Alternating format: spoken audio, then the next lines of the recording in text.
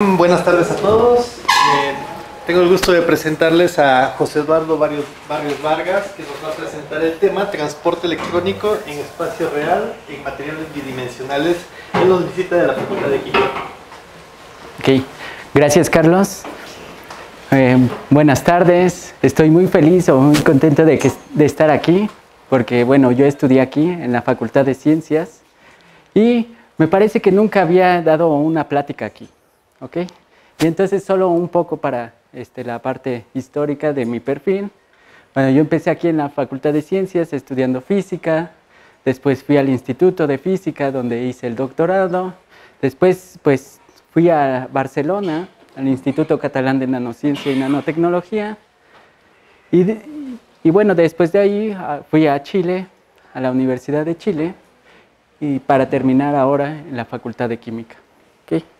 Y entonces, bueno, pues claro, hay nombres que tengo que mencionar porque pues son, fueron en su tiempo mis jefes y bueno, pues ahora son colaboradores y, y mentores. Y entonces, bueno, está Gerardo García Naumis en el Instituto de, de Física. Stefan Roche fue mi jefe ahí en Barcelona y la mayor parte del trabajo que voy a presentar o de los trabajos que voy a presentar, pues fue, eh, fueron las cosas que desarrollé este, en Barcelona. Y bueno, pues después pasaré, este, bueno, también me gustaría mencionar a Luis Foa, que es este, un colaborador muy cercano ahora, y un poco voy a platicar de las cosas que estamos haciendo. ¿Okay? Y bueno, pues el objetivo de esta plática, o bueno, más que este, tanto como conocer pues, a, a los jóvenes que, nuevos de aquí de la Facultad de Ciencias y que también pues eh, conozcan de este tema, es de que, bueno, yo también quiero este, dejarles un, este, un mensaje de un reto de cómo modelar estos materiales este, bidimensionales, un reto en la parte del modelado de transporte electrónico, cuál es ese problema, y una solución, ¿no? que es ocupar un método de, que escale con el tamaño del sistema y que bueno, se basa en una dinámica del paquete de onda. ¿ok? Y entonces, bueno, ese va a ser mi objetivo de la plática. Y entonces, pues, empecemos un poco sobre, este, sobre el reto. Entonces, los cristales bidimensionales, pues ya este, espero que todos sean familiares o bueno, que esta noticia ya haya llegado o sea familiar para toda la comunidad. Es de que, bueno, pueden haber distintos tipos. El más famoso, por supuesto, es el grafeno. Y bueno, en cuestión de, eh, de la propiedades electrónicas, pues los podemos clasificar como aislantes, semiconductores y, bueno, semimetales, que es el caso de grafeno. Entonces, ¿y qué, a qué está relacionado esto? Con las brechas energéticas, ¿no? Entonces, esa es como la primera clasificación que se puede dar de estos materiales. Y bueno, pues esos materiales pues han servido, o bueno, ya es algo relativamente accesible en casi todos los laboratorios del mundo, hacer transistores con estos materiales. Y el diseño de esos transistores es un poco diferente a los este, que se encuentran en, en todos los, nuestros electrónicos. Y bueno, pues es simplemente una hoja del material, las conexiones y pues la compuerta para hacer el gate. Entonces, bueno, pues lo importante de este material pues son las propiedades intrínsecas de, o bueno, para el funcionamiento de este transistor, transistor son las propiedades intrínsecas del material, ¿ok? Lo que le voy a llamar las propiedades del bulto, ¿no? Las propiedades del canal. Y entonces esto está relacionado, en el caso de la electrónica, pues con la movilidad electrónica, con la conductividad y con la densidad, y cómo estas son función de la densidad de portadores de carga. ¿no? Entonces, esto es lo que son las cantidades a calcular y que pueden ser complejas de evaluar dependiendo de cómo sea este material. ¿no? Porque casi siempre estos materiales no son cristalinos, ¿no? lo que siempre tienen son defectos. Y entonces, y pues que son intrínsecos de cómo se, eh, se sintetizan. Y entonces, bueno, para poner un ejemplo, y casi todo mi trabajo ha sido este, sobre grafeno, ¿ok? Bueno, pues pensemos en, este, en la síntesis de grafeno, ¿no? Y entonces una forma de graficarlo es como de este, calidad y precio, el precio de la producción. Este es un gráfico que a la industria les importa mucho. Y entonces, bueno, pues cuando, eh, la primera eh, la forma en cómo se sintetizó primero el grafeno es por exfoliación mecánica. Y entonces, para dar un dato, más o menos en el 2006, este, un micrómetro cuadrado, o sea, un, una área de una micro un micrómetro por un micrómetro, costaba producirlo un euro. ¿no? Y entonces, pues no tardó mucho en que aparecieran otros tipos de síntesis a jugar. Y entonces, bueno, pues parece ser, la, o más bien la que da mejor calidad con el precio, mejor calidad que precio, es el crecimiento este, por deposición química de vapor. Y entonces, una estimación en el 2017, ya el precio de un centímetro cuadrado es de un euro. ¿no? Es relativamente barato acceder a este material eh, y entonces pues se puede hacer electrónica sobre ese material. Sin embargo, pues una característica que, del crecimiento es de que, bueno, pues este es un ejemplo típico de cómo es, eh, funciona la deposición química.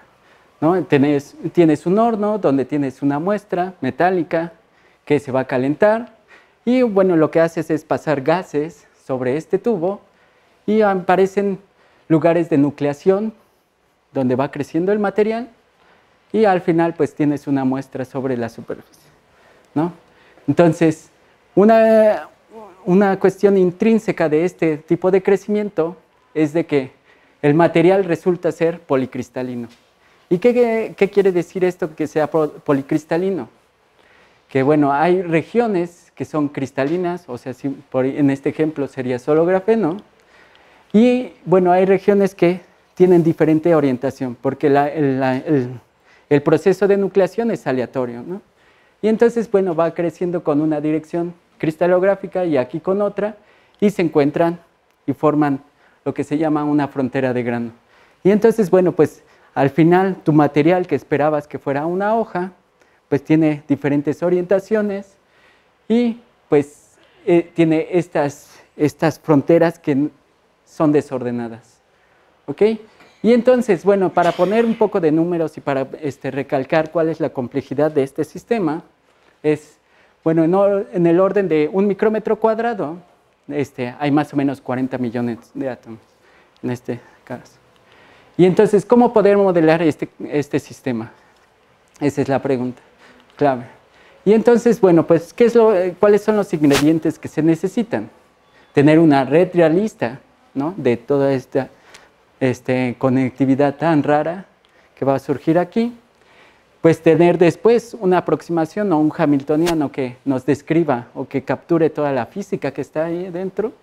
Y después un método eficiente para evaluar el transporte. Y entonces, y esto es lo que les voy a presentar. ¿Cómo hacer esto? Y entonces un poco a más a detalle, las fronteras de grano, pues se forman de, este, bueno, en grafeno, pues los, los carbonos están organizados en hexágonos, y en el caso de cuando hay una frontera de grano, pues esa conectividad cambia y pues aparecen lo que son pentágonos, septágonos, octágonos. Y bueno, pues esto es solo un ejemplo de una imagen experimental, vista con un microscopio. Y entonces, bueno, pues un poco más de detalle de estas, ¿no? Esta es más o menos una, este, una muestra de, de grafeno, este, que es del orden de 10 micras. Y bueno, pues aquí se ven unas líneas, estas líneas son pliegues que luego aparecen en, eh, en el crecimiento, pero una cosa que se vio, o bueno, que se ha visto, es de que son químicamente reactivas. ¿Qué quiere decir esto? Bueno, si yo lo pongo en un ambiente de oxígeno, estos lugares, que son las fronteras de grano, se van a empezar a oxidar. ¿no? y entonces, aquí no sé si se alcanza a ver, aquí aparecen unas líneas que justamente son donde se está localizando el oxígeno y está oxidando el material. ¿no? Y entonces, bueno, pues ahora sí pasemos a buscar en un modelo de juguete o un modelo para describir este, este tipo de materiales. ¿no? Entonces, ¿qué es lo primero que se necesita? Pues tener una red policristalina, ¿no? Entonces, no es una tarea sencilla, pero se puede hacer, ¿no? Y entonces, bueno, pues este, una forma de, generar estas, muestras es utilizando pues, un proceso similar a lo que este, se ve experimentalmente, que es poner semillas aleatorias de crecimiento, crecer el cristal hasta una cierta distancia y después utilizando dinámica molecular, al final de cuentas es solo LAMS, este, pues se puede hacer un recocido. ¿Qué quiere decir esto? aumentar la temperatura para que los átomos se puedan mover libremente y organizarse, mantenerlo ahí y después de un cierto tiempo este, enfriarlo de una forma lenta.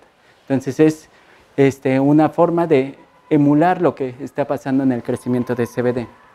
Y bueno, pues casi siempre este, pues, no se obtiene un material del todo realista. ¿Qué quiere decir esto? Que la, la, una cosa que sabemos de grafeno es que la coordinación de, o cómo están enlazados los carbonos son con tres enlaces. ¿no? Entonces, pues, este, a veces este proceso lo que genera son átomos de carbono con cuatro enlaces. Entonces hay que estar, es un juego artesanal, de pues estar checando cuántos vecinos hay, cuántos, este, si está enlazado como con, tres átomos de carbono, si no hay que quitarlo, moverlo y empezar otra vez hacer la dinámica, ¿no? Entonces esto es un proceso arduo, ¿no? Pero se puede hacer.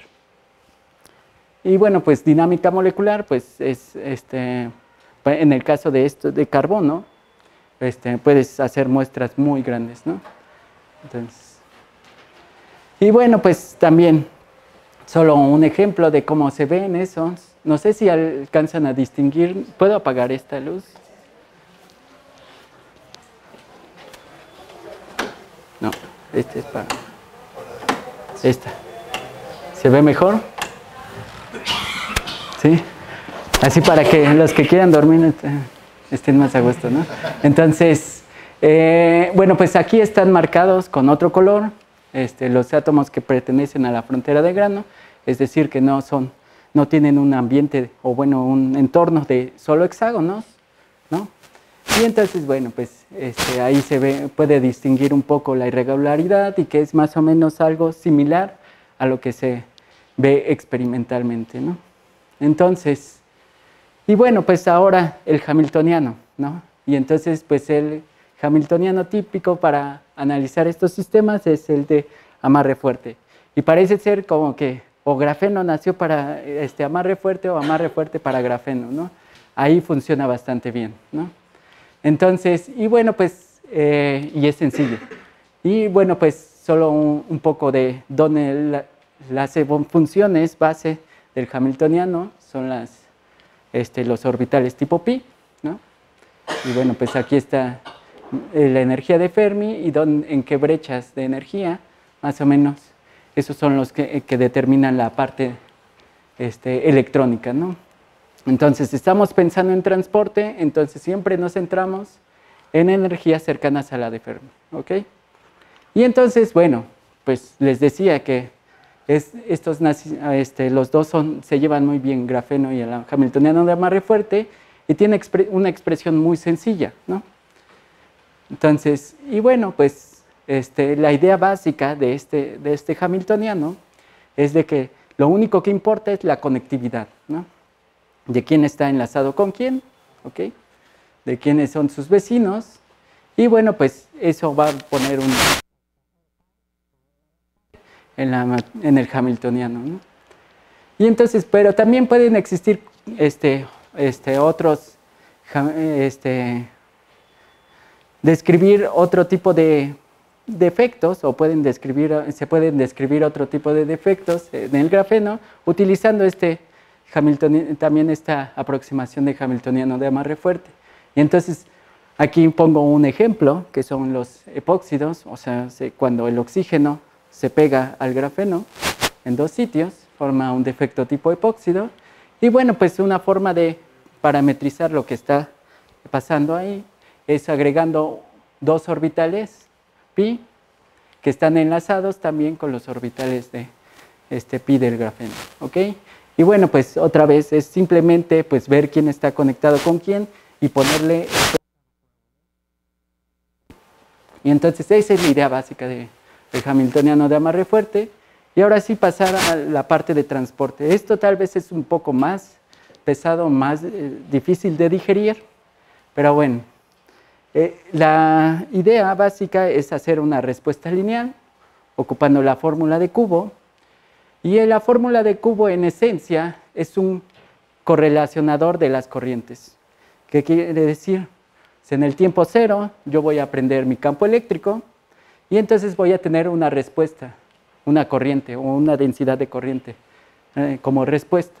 Entonces, pues lo único que tengo que hacer es calcular ese correlacionador, autocorrelacionador, y sumarlo sobre todo el tiempo. Y eso es proporcional a lo que sería la conductividad, a la respuesta que tiene el material en respuesta lineal. ¿Ok? Y entonces, bueno, pues a partir de ahí, pues se pueden hacer este, bastante tratamiento. Al final de cuentas, esto es hacer Fourier para hacer esta integral y se puede llevar a una expresión similar a esta, ¿ok? Y que es la expresión que, este, que se puede evaluar eficientemente, ¿no? Y bueno, ¿qué es, ¿cuáles son los términos en esa expresión? Pues es la densidad de estados y una, este, el desplazamiento cuadrático medio de un paquete de onda. ¿no? Y bueno, pues la derivada eh, va a estar relacionada con lo que es la conductividad. ¿no? ¿Cuándo se pueda definir esta? Entonces, si yo, eh, una cosa importante o que quiero remarcar es de que a pesar de que este esté igual, eh, puede ser que este, esté en duda, porque pues no siempre puedes definir una conductividad para tu material, porque pues este, si no es homogéneo, pues en realidad este, esa conductividad va a ir cambiando con el espacio y entonces pues lo, puedes pegar, pescar esas expresiones cuando, cuando es isotrópico, cuando no es isotrópico. Ajá, exacto, eso es a lo que quería comentar, ¿no? O sea, que estas expresiones, o sea, el igual es lo único que puede ser este, debatible si el sistema tiene una parte, o bueno, tiene defectos muy localizados y que, bueno, pues no es una cantidad precisamente del bulto o bueno del material, sino es algo local. Entonces, pero pues esta, estas, estas cantidades están definidas independientemente de eso, ¿no? Y pues se pueden definir localmente y entonces también este, pues lo que quería remarcar era de que esto, o sea, o lo que ven el comportamiento de estas cantidades o del producto de estas cantidades, también da información sobre el sistema y que no necesariamente esté ligado a lo que es la conductividad. No se restringe a la conductividad, ¿no? Y entonces a dar un valor de conductividad. Pero eso es, eh, bueno, hacia ese iba mi comentario. De qué es lo que se espera, ¿no? Entonces, este término, que es la derivada del desplazamiento cuadrático medio, ¿ok? Pues puede distinguir diferentes regímenes de de transporte. ¿no? Entonces, cuando esta, esa derivada crece, crece, crece con el tiempo, se tiene un comportamiento balístico, o sea, hay un paquete de onda que se va dispersando con una cierta velocidad, y bueno, pues puede alcanzar un régimen difusivo, ¿no? Llegar a una saturación, y en este caso es cuando justamente esto se puede, así es indebatible, cuando tienes un, este, un coeficiente de difusión, ¿ok? Pero también puedes ver que, bueno, pues ese paquete empieza a, este, a, dispersarse y después puede ser que el movimiento se estanque y lo que lleva, eso es lo que lleva a un régimen localizado. Entonces es, es, esta parte. Y entonces, bueno, pues la idea básica de cómo evaluar temporales que evolucionan en el tiempo pues es utilizando el operador de evolución. En este caso, pues este operador de evolución este, está dado por, este, por el hamiltoniano de amarre fuerte y entonces estos solo son unos snapshots de, cómo se propaga un, este, un, un, paquete de onda y por ejemplo aquí va a haber una frontera de grano y empieza a haber dispersión. ¿no? O sea, hay parte que se transmite, hay parte que se refleja, y entonces pues este, se va, este, va cambiando el paquete de, o bueno, va cambiando el paquete por las, porque se dispersa, ¿no? Y entonces, ¿eh? De? Pues simplemente es de que este, pues, tienes parte transmitida y reflejada, ¿no? Esa, este, dependiendo de cómo sea el comportamiento, o sea, tú puedes ya analizar y decir, ah, bueno, pues es una dispersión por, este, que está caracterizada por una potencia de, no sé, de, cómo va la, este, en el tiempo, ¿no? Entonces, bueno, pues es simplemente como que es una onda que rebota, que se transmite y se refleja, ¿no? ¿Ok? Y entonces, bueno, pues la clave para hacer esta evolución y que es, es, es la, eh, el porqué de este método es tan eficiente es la parte de que el, operador de evolución se puede expandir en términos de polinomios de Chebyshev. Y esta expansión es exacta. ¿no? Entonces, lo único que hay que tener, pues serán, dependiendo de cuál es el paso de tiempo al que uno quiere evolucionar, este, es la, eh, son los coeficientes que dependen del tiempo y aquí aparecen los, unos polinomios de Chebyshev del Hamiltoniano. Y estos se pueden calcular eficientemente por las propiedades recursivas de los polinomios. Y entonces, y esta es la, esta es la clave. A veces estas expansiones, estas expansiones son muy genéricas cuando se quiere evaluar cualquier cantidad. ¿No? Entonces, esto de expandir en polinomios, pues seguramente les es familiar. Y bueno, pues a veces las, este, para que estas series converjan, lo que es necesario es poner un kernel, ¿no? un peso que haga que, las, que la serie converja. ¿ya? Entonces, bueno, pues eso es lo que está detrás. Y ahora sí, un poco este, para que la audiencia no se aburra. Entonces, es un video, ¿no? Y este es simplemente eh, un video ilustrativo, están las fronteras de grano, el paquete de onda, y ven cómo hay parte que se transmite y parte que se refleja. ¿no? En este caso es un, paquete de onda localizado, entonces tiene todas las energías posibles y por eso es que puede, este, eh, hay parte que se transmite sin que vea al dispersor, ¿ok? Y hay parte que se refleja por... Y entonces, bueno, pues es, eso es una, este, una bonita animación para justamente o cómo se calculan el transporte. ¿ok? Y después, pues lo que se tiene que hacer es calcular el desplazamiento cuadrático medio de este, de este paquete de onda o de un paquete similar. ¿Ok?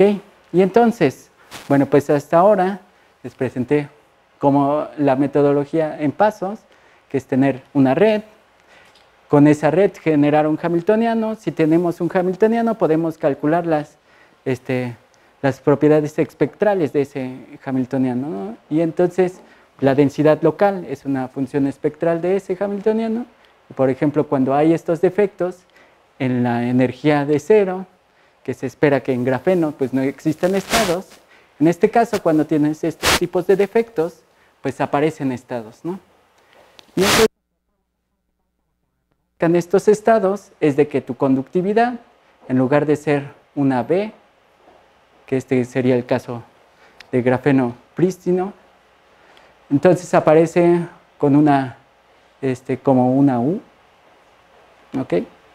Y entonces tiene diferentes curvaturas y bueno, pues dependiendo de la densidad de, o bueno, del tamaño de los granos, ¿ok? Esta cada vez puede ser más grande o más chica, ¿no? Entonces, bueno, por ejemplo, si hay muchos defectos, como por unidad de área, pues la conductividad baja más y entonces si conforme este, van aumentando el tamaño de los granos, pues se va pareciendo un poco más a lo que es el caso de grafeno prístino. ¿okay? Y bueno, pues en esencia es... Que le pegues a la que tenga granos muy grandes. Sí, sí, en esencia es eso, ¿no? Pues, y si lo pensamos es lo que se espera, ¿no? Porque pues si tienes cada vez cristales, o sea, el policristalino son cristales, cristales de grafeno, pero con, ordenados de forma diferente. ¿no? Y entre más grande sea este cristal, pues más, este, más parecido va a ser a lo que es grafeno. ¿no? Y entonces, bueno, pues esta implementación puede, escala como el tamaño del sistema gracias a, bueno, pues lo que es una expansión en polinomios, que pues esa, este, esa escala con el tamaño del sistema por ser una operación relativamente sencilla de calcular con las propiedades de los polinomios de Chebyshev. Entonces, bueno, esa es la parte del modelado. ¿no? Y entonces ahora sí, un poco de publicidad. ¿no? pues un poco de los trabajos que he hecho utilizando estas herramientas. ¿no? Y entonces, bueno, pues simplemente con el hamiltoniano de amarre fuerte lo que se puede, permite, estos este, hamiltonianos son aproximados y pueden tener este, parámetros libres. Y entonces, bueno, pues una firma que tienen las fronteras de grano es que pues, aparecen singularidades de Van Hove en el espectro electrónico. ¿okay? Y entonces, pues utilizando un término libre del parámetro de, bueno, de, de, en el hamiltoniano de amarre fuerte, se pueden encontrar o se pueden describir las energías experimentales de esas singularidades. ¿no? Entonces, ese es uno. También una cosa que estudié mucho fue la degradación por el ambiente o cómo impactaba eso en la movilidad. ¿okay? Y bueno, tanto para defectos como tipo epóxidos o como hidrógeno, ¿no? y se pudieron hacer este, comparativas con este, grupos experimentales. Y entonces, sí, pues la idea básica es de que pudimos obtener es cómo caía la movilidad como este, concentración de esos defectos ¿no? en un material policristalino. Entonces, y bueno, pues también uno, con la conductividad puede llegar, o bueno, puede hacer, calcular el coeficiente Siebeck con la relación de Onsager, ¿ok? En cierta aproximación, ¿ok? Y bueno, pues al final, pues una forma de caracterizar el material es ir haciendo un scan de la fotocorriente que genera ese, este, la muestra, ¿ok? Esto es simplemente una una punta FM que se ilumina, hace un campo cercano y entonces este, calienta la muestra y entonces aparece una fotocorriente que, bueno, pues esta es la comparativa como de la teórica y esta es la comparativa con la experimental, ¿no? Como función del voltaje, de cambiar el voltaje aquí y de pues la posición, ¿no? ¿Ok? Y entonces, bueno, y también se puede hacer este, estructuras un poco más complejas, ¿no? Existe el otro, otro tipo de material 2D que es el, este, el nitruro de boro hexagonal, que es un aislante, ¿ok? Y entonces, pero también se puede, ese también se puede crecer este, primero en una muestra, dejar hasta un cierto tamaño y luego crecer grafeno sobre él, o al revés, ¿no? Se puede hacer un tratamiento químico para poder este, crecer estos materiales. Y entonces estos pueden generar heteroestructuras un poco más complejas, ¿no? Y aquí, bueno, pues esto es eh, este, un tipo de muestra, y por ejemplo los parches son nitruro de boro hexagonal y lo que es gris es grafeno, ¿no? Y entonces pues se puede caracterizar cómo va la movilidad, como función de ese, esa concentración de nitruro de boro hexagonal y pues la resistencia por unidad de, de área, y bueno, pues también como función de, esa, este, de ese nitruro de boro hexagonal. Y lo que se espera es de que pues sea una transición, si tenemos un semimetal o algo que parece metálico, y luego queremos llegar a lo que es algo que es aislante, pues lo que queremos, esperamos es que haya una transición, ¿no? En este sentido. Y entonces, bueno, pues ese es ese trabajo. Y entonces, una parte importante es de que, bueno, pues los hamiltonianos son este, de amarre fuerte pues son aproximados y tienen unos parámetros libres. Y estos parámetros libres pues eh, se pueden este, ajustar de forma experimental, como en el caso que les mencioné antes, y también pueden venir de cálculos de DFT. Entonces, si en este caso fue justamente con esos. Y bueno, pues esta historia sobre los policristalinos, y bueno, en especial de grafeno, parece ser ya un poco más este, para estar cerrada o en el sentido de que pues ya se tiene mucho control sobre el de experimental del tamaño de los granos y pues ya se sabe cómo escalan las propiedades de este material, tanto térmica como eléctrica. ¿ok? Y entonces, bueno, pues, ¿qué es lo que sigue? no? ¿Qué es lo que sigue o qué es lo que este, es, eh, pues ahora estoy haciendo? ¿no? Y entonces, bueno, pues es- tenemos la estrella de la muerte y tenemos nuestra este, grafeno, y entonces, ¿por qué no iluminarlo? ¿no? Y entonces esta es la interacción de luz y materia, que es lo que estoy haciendo ahora. Y bueno, ¿qué, qué pasa en este caso? ¿Ok? Una forma adecuada de abordar este problema es utilizando la teoría de Floquet. ¿ok? Y entonces, ¿qué es la teoría de Floquet? Es simplemente la versión en el tiempo de la del, teorema de Bloch. ¿Y eso qué quiere decir? Bueno, que yo voy a poder separar este, la parte temporal como de una mezcla de una parte espacial y temporal, ¿no? Algo similar a lo que se hace en Bloch. Y es más, un poco más, este es un- esta función de, que serían las funciones de Floquet o las, lo equivalente a las funciones de Bloch, pues tienen una, este, viven en el espacio real y en el espacio temporal. Pero también esas se pueden escribir, o la parte temporal se puede escribir en modos, ¿no? dependiendo del número de fotones que haya. Y bueno, pues eso nos restringe a que, bueno, pues estos nos va a dejar unas funciones de onda que son como en espacio real, pero como que en un espacio aumentado, con réplicas que se llama. Y entonces, bueno, pues la idea básica es de, pues que ahora el grafeno o un material 2D, pues va a tener, este, por estar con la interacción de luz, pues va a poder interactuar con copias de él. Y lo único que tienen es de que van a estar corridas en energía. ¿ok? Y la idea, entonces, la inter- interpretación básica de esta, este modelo como de red, de hacer una red en lugar de tener una red 2D, pues voy a tener una red 3D, pues es de que no tienes un espacio que son de electrones y fotones, ¿no? Espacio a resolver es electrones y fotones. Y entonces, bueno, pues esta es la idea básica de la teoría de Floquet, ¿no? Y entonces, ¿qué pasa con grafeno cuando se ilumina? ¿Ok? Y bueno, pues mm, espero que se les sea familiar. Grafeno tiene una relación de dispersión lineal, ¿ok? Y entonces cuando se ponen las réplicas es simplemente un corrimiento a la energía de Fermi, de ese cono, o bueno, pues no, no es la energía de Fermi, sino es simplemente el cono desplazado, ¿ok? Y entonces aparecen este, otros conos que se tocan aquí, ¿no? Y entonces, bueno, por las cuestiones de simetría, pues estos este, tienen la misma simetría, entonces pues tienen que abrirse un gap, ¿ok? Y entonces, este, en lugar de ahora tener lo que es la relación disper- de dispersión de un cono, pues se tienen estas formitas, ¿no? De W o W al revés, ¿no? Y entonces experimentalmente se han observado ese tipo de fenómeno. Se tiene primero un cono, luego hay réplicas y bueno, pues aparecen eh, unos, unas Ws aquí parecidas y bueno, pues uno tiene que imaginarse un poco para ver que eh, aquí hay un gap, ¿no? ¿Ok? Bueno, pero hay una cosa este, que no les he mencionado aquí. Esto en realidad, esta observación experimental no es en grafeno.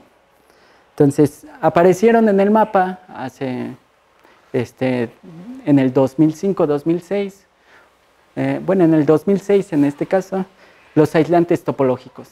Y esos aislantes topológicos son materiales que, bueno, la, la relación de dispersión de los estados que están en la frontera es también como de tipo Dirac. Y entonces, ¿qué quiere decir eso? Que esos electrones, o bueno, los estados de, de ese material en la superficie también presentan los conos de Dirac, que se pueden ver con, la, con ARPES, ¿no? con la espectroscopía de ángulo. Entonces, y bueno, pues esta observación experimental es justamente sobre un material de estos, pero la física debe de ser la misma. Y entonces, bueno, pues eso es lo que he estado explorando. Y bueno, pues uh, una cosa que se sabe es de que esos gaps o esos este, cuando, aparece, cuando se ilumina grafeno, pues en esos gaps dinámicos que se llaman, o en los gaps que están fuera de la, de la energía de, del, o bueno, donde está el pico del cono, estos gaps presentan estados de borde, ¿no? Cuando tiene, este, el material lo tiene, y pues eso genera corrientes y son robustas ante desorden, ¿no? O bueno, estos gaps también generan lo que se llaman estados de borde, y entonces es ahí donde se generó el nombre de aislantes topológicos de Floquet, ¿no? que sería lo similar a lo que son los aislantes topológicos, tener un gap y que cuando existe un borde, tener un estado que vive ahí, eh, pero con luz. ¿ok? Y entonces, pues eso es lo que ahora me he estado dedicando. Y entonces la idea básica de esto es simplemente tener un switch de que cambia de una topología a otra topología. Entonces, pues ya para terminar y para los que estén durmiendo, los comentarios finales. Entonces, pues la idea que les quería transmitir era de que, bueno, pues este, estas propiedades, o bueno, al final de cuentas son funciones de Green, lo que se calcula, o bueno, lo que es algo, son propiedades espectrales, se pueden calcular de forma eficiente con este método de, expansión en polinomios, ¿no? Y bueno, pues también las funciones de correlación, como fue en el caso del transporte. Y entonces, bueno, pues, ¿por qué Chebyshev? Que es algo que este, puede surgir a primera, este, es la primera pregunta. Y es porque aproxima la mejor, es la mejor aproximación a, a una función continua. En la norma aquí me falta un infinito. ¿ok? La norma infinito, o sea, del máximo, la máxima diferencia, ¿ok? Entonces, gracias por la atención.